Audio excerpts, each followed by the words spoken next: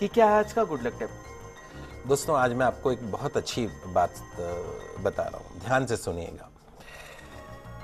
अगर मोहम्मद साहब की शिक्षाओं पर मनन किया जाए, मुस्लिम शिक्षा जो है, उनकी शिक्षाओं पर मनन किया जाए तो दो बातें उनमें सबसे अहम है। पहली क्या है? मोहम्मद साहब की जो शिक्षाएँ हैं, वो किसी भी एक देश के लिए नहीं है। या किसी भी एक धर्म के लिए नहीं है, हिंदू, मुस्लिम, सिख, ईसाई, ऐसा नहीं है। सबके लिए है।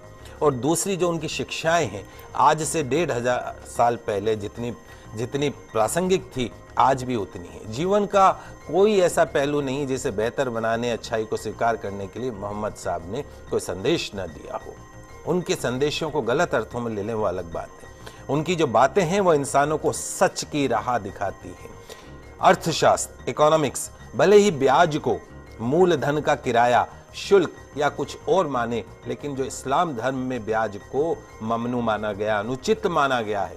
इस्लाम के मुताबिक ब्याज एक ऐसी व्यवस्था है जो अमीर को और अमीर बनाती है और गरीब को और गरीब बनाती है। इस प्रकार ये एक शोषण का ज़रिया है। पवित्र कुरान स्पष्ट रूप से ब्याज को वर्जित मानती है। इंसानों के लिए कहा गया है, हे ईमान वालों, दो गुना और चार गुना करके ब्याज मत खाया करो।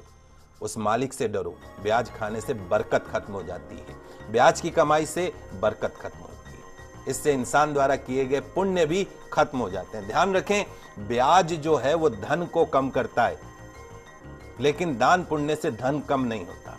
जो लोग ब्याज हासिल करने का निश्चय कर चुके हैं, उनके लिए बहाने बनाते हैं, उसके लिए ये एक शैतानी धोखा है। जो लोग ब्याज लेने को सही कारोबार साबित करने की कोशिश करते हैं कि साहब, ये तो हमारा बिज़नेस है। और लोगों को भी यकीन दिलाते हैं कि ब्याज लेना उचित है। तो ऐसे लोगों को भी इसी प्रकार के शैतानी धोखे के शिकार होते हैं। तो जो लोग ब्याज खाते हैं, उनके बारे में कहा गया है कि कयामत के दिन खड़े नहीं हो सकते। उसी तरीके से जैसे किसी को शैतान ने छूकर पागल कर दिया हो। या इसलिए क्योंकि वे कहा करते थे कि व्यापार भी तो ब्याज के समान है। व्यापार को वैध कहा गया है, ब्याज को पूरी तरीके से अवैध कहा गया है।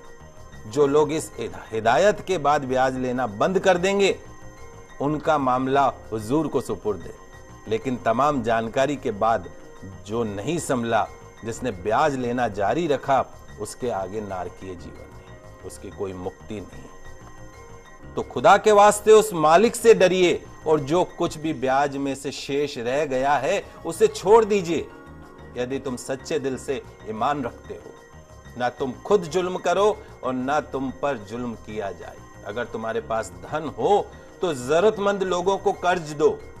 उन्हें वापसी के लिए कम से कम इतना तो समय दो कि कर्जदार इंसान उसे आसानी से वापस लौटा सके, आत्महत्या नहीं करे।